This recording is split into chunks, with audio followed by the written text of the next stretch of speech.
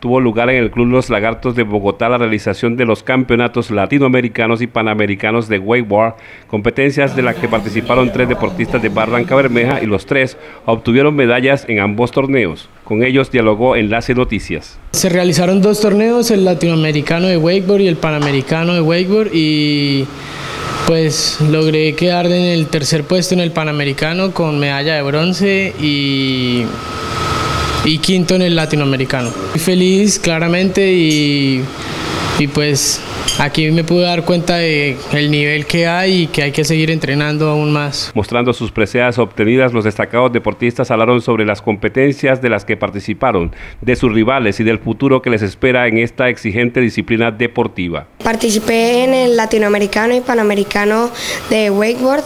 Eh, y en la categoría sub-14 boys.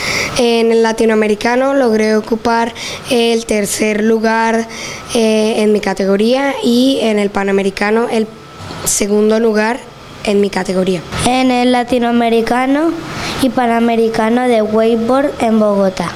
¿Qué, La de plata y otra vez la de plata. Que me voy a seguir esforzando para el siguiente torneo. Ahora los galardonados se alistan para el Campeonato Mundial de Wakeboard previsto para marzo próximo y cuya sede podría ser Barranca Bermeja según conoció Enlace Noticias.